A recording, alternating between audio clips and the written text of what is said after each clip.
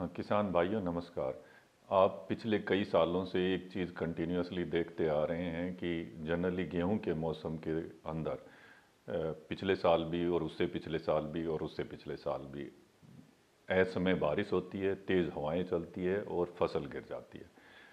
ज़्यादातर वैज्ञानिक और मास मीडिया के लोग जनरली परसीव करते हैं कि ये सब कॉन्सिक्वेंसेस है क्लाइमेट चेंज के। क्लाइमेट चेंज को अगर आप डेसीफर करें तो बेसिकली एक लॉन्ग टर्म नोटेशंस है ये वेदर वेरिएबल की। यानी वेदर वेरिएबल है रेन के टम्परेचर के, और स्नो स्नो फॉलिंग के। तो लॉन्ग टर्म डायमेंशन में देखेंगे तो इन वेरिएबल्स में बहुत कम चेंजेज आपको मिलेंगे। अगर जो आपकी लॉन्ग टर्म डायमेंशन है सौ साल की, डेढ़ सौ साल की, दो सौ साल की तो यू विल फाइंड आपको लगेगा कि बहुत कम चेंजेज हैं। एक एक डिग्री सेंटीग्रेड के टेम्परेचर का चेंज मिलेगा आपको, डेढ़ डिग्री लेकिन अगर जो इसी चीज़ को आप शॉर्ट टर्म पे देखें, यानी पिछले दस सालों का देखें, पिछले पंद्रह सालों का देखेंगे तो आप पाएँगे कि हाँ कुछ वेदर वेरिएबल हैं, जैसे sudden down power of down power of rain in the sense अगर भाई एक सिंगल इवेंट 100 एम mm की, डेढ़ सौ एम mm की एक सिंगल रेन इवेंट हो जा रही है। और तेज़ विंड का चलना। तो ये सब अनसर्टेनिटी इन प्रोडक्शन पैदा करती है। अगर आपने इनको ओवरकम करना है तो हम कहते हैं कि इसको होलिस्टिकली आप कंट्रोल कर सकते हैं। कि होलिस्टिकली एड्रेस करने के लिए आपको ज़रूरी है, एक नंबर एक, अगर गेहूँ के अंदर आप सीधी बुझाई पे चले जाएँ, सीधी बिजाई का मतलब है कि बिना जी, बिना बाजोत के बुआई करना। तो उससे एक प्रभाव पड़ेगा अगर जो खासकर राइस वीट के क्रॉपिंग सिस्टम में जहाँ यानी पहली क्रॉप राइस की रही है वहाँ पे आपके राइस के रे, एंकर्ड रेजिड्यू एक चैनल का काम करते हैं और जब कभी ज़्यादा रेन होती है तो उस चैनल के थ्रू पानी नीचे उतर जाता है तो यानी वाटर लंबे समय तक आपके खेत में खड़ा खड़ा नहीं रहेगा जिसकी वजह से फ़सल की ग्रोथ रुक जाती है तो उससे कम से कम नुकसान होगा। दूसरा जो फ़ायदा है कि ये ज़ीरो टिल की वजह से जो सोयल टम्परेचर है, ये अगर आप उसके ऊपर रेजिड्यू सरफेस के ऊपर रेजिड्यू रखते हैं तो वो सोयल टम्परेचर को मॉडुलेट करता है।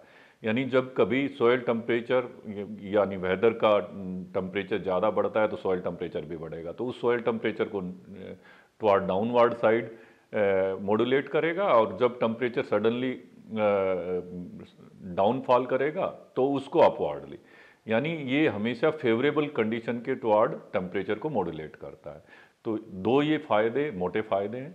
तीसरी इंटरवेंशन है कि जब भी कभी आप कोई भी वैरायटी बोएँ तो उसके अंदर ध्यान रखें कि उसकी टिलरिंग कैपेसिटी कितनी है। तो अगर किसी वैरायटी की टिलरिंग कैपेसिटी है, जैसे फॉर एग्जांपल हमारी एच डी बत्तीस छब्बीस है एच डी बत्तीस अट्ठानवे तो इनको, इन दोनों वैरायटी की टिलरिंग कैपेसिटी बहुत ज़्यादा है। तो इन वैरायटियों को अगर आपने अच्छी पैदावार लेनी है तो कम सीड रेट में। कम सीड रेट का मतलब आप अगर जो 40 किलो यूज़ करते हैं तो 35 किलो यूज़ करिए 45 किलो यूज़ करते हैं तो 40 किलो यूज़ करिए 55 किलो यूज़ करते हैं तो 50 किलो। यानी सीड रेट को रिड्यूस कर सकते हो। सीड रेट के रिड्यूस करने से उसकी हाइट कॉम्प्रोमाइज़ हो जाती है और उसकी एंकरिंग प्रॉपर हो जाती है, फिर गिरने के कम चांस रहते हैं। और आपको पैसों की भी बचत होगी। अब मान सीड के अंदर आपको कम इन्वेस्ट करना पड़ेगा। दूसरी इंटरवेंशन है कि आप इन सब वेराइटियों को अगर अच्छा है जितनी जल्दी सोइंग कर सकते हैं, उतनी जल्दी सोइंग कर लें। तो उसके फ़ायदे ये रहते हैं कि जब सडन राइज इन टेम्परेचर आपका टुवार्ड क्रॉपिंग सीज़न एंड के होता है तो उससे आपकी क्रॉप बच जाएगी। जैसे बहुत सारे किसान भाई वेट करते हैं कि भाई अभी टेम्परेचर डिप कराए ये सब वेराइटियाँ इस तरह की वेराइटियाँ हैं जो यानी हाई टेम्परेचर पे भी सीड कर दोगे तो इनके प्रभाव नहीं पड़ता हेडिंग पे पे जैसे कुछ वेराइटियाँ जैसे एच डी अट्ठाईस इक्यावन है, उसको अगर जल्दी बो दोगे तो उसमें बाल भी जल्दी आ जाएगी। लेकिन एच डी बत्तीस छब्बीस है एच डी बत्तीस अट्ठानवे है, इनको जल्दी बोने पे इनमें बाल जल्दी नहीं आती। तो ये दो इंटरवेंशन है और तीसरी है, एक दो या तीन वेराइटी का मिक्सचर ग्रो कर सकते हैं। एक ट्राई कर सकते हैं। मिक्सचर हमेशा आप क्लाइमेट रेजिलेंसी के लिए बहुत अच्छी चीज़ है।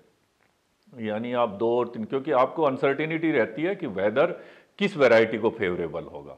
हर ईयर का अलग वेदर होता है और ये प्रिडिक्ट भी नहीं किया जा सकता। और एटलीस्ट प्रिडिक्ट करते हैं तो इतना पहले नहीं प्रिडिक्ट कर सकते कि हम वैरायटी प्लान कर सकें कमिंग सीज़न के लिए। तो उसके लिए बेस्ट है अगर जे आप आधा एकड़ में, एक चौथाई एकड़ में, दो या तीन, बट वो वेराइटियाँ कॉम्प्लीमेंट्री हो। जैसे एक ज़्यादा फुटाव की वेराइटी जिसके अंदर फुटाव ज़्यादा है, जैसे हमारी एच डी बत्तीस छब्बीस है, उसके अंदर ऐसी वेराइटी मिक्स कर सकते हैं जिसके अंदर फुटाव कम हो, लेकिन उसका स्टेम स्ट्रॉन्ग हो। ठीक है, उनको मिक्स करके जो जो फुटाव वाली है उसकी प्रोपोर्शन ज़्यादा रख ले और जिसके अंदर फुटाव कम है उसका कम प्रोपोर्शन रख ले। उन दोनों को मिक्स करके बोध है तो ये एक दूसरे की कॉम्प्लीमेंट्री होगी और आपकी पैदावार बढ़ जाएगी। एक अन्य प्रमुख बात है कि एच डी बत्तीस अट्ठानवे जो हमारी वेरी लेट सोन और लेट सोन के लिए वैरायटी रिकमेंडेड थी, यानी जनरली इसको हमने रिकमेंड किया था दिसंबर के बाद की सोइंग के लिए। मैं जब से हम इस वैरायटी को डेवलपमेंट के प्रोसेस में लेके आए, यानी आज से सात आठ साल पहले से मैं कंटिन्यूसली इस वैरायटी के हर गुण को ऑब्ज़र्व करता था कि भाई इसके सेग्रीगेटिंग मटेरियल को भी और फिक्स मटेरियल ये वैरायटी की रेजिलेंसी बहुत स्ट्रॉन्ग है। यानी इसको अक्टूबर के एंड से आप बोना शुरू करके देखिए कि आपको अगर जो मैक्सिमाइज पैदावार को मैक्सिमाइज करना है तो इवन इस वैरायटी को आप अक्टूबर के एंड में और नवंबर के फ़र्स्ट वीक में भी बो के देख सकते हैं। लेकिन इसका सीड रेट अगर आप अक्टूबर एंड में बोएँ और नवंबर के फ़र्स्ट वीक में बोएँ तो सीड रेट कम रखें। आईआरआई की हमने क्लाइमेट रेजिलेंस का एक पैरामीटर जो एड्रेस करना चाहा है, वो क्लाइमेट रेजिलेंस को एड्रेस करने के लिए हमने टिल्डिंग बढ़ाई है। लेकिन टिल्डिंग बढ़ाने की वजह से देखिए कि लोजिंग इंड्यूस होती है। तो उस लोजिंग को काउंटर करने के लिए आप सीड रेट इन वेराइटियों का, जैसे खासकर एच डी बत्तीस छब्बीस और एच डी बत्तीस अट्ठानवे इन वेराइटियों का सीड रेट कम रखें। तो उससे आपकी लोजिंग की इंसिडेंस काफ़ी हद तक कम हो जाएगी। और जो वैरायटियाँ जिनके अंदर थोड़ी सी, यानी 100 सेंटीमीटर से भी ऊपर की वैरायटियाँ हैं, उनमें अपना ग्रोथ रेगुलेटर का स्प्रे कर लें। वो ग्रोथ रेगुलेटर लियोसिन है फोलिकल है उनकी एक रिकमेंडेड डोज है, उसको मिक्स करके उनको ऊपर स्प्रे कर लेंगे तो आप उनकी ग्रोथ हाइट भी ज़्यादा नहीं बढ़ेगी। धन्यवाद।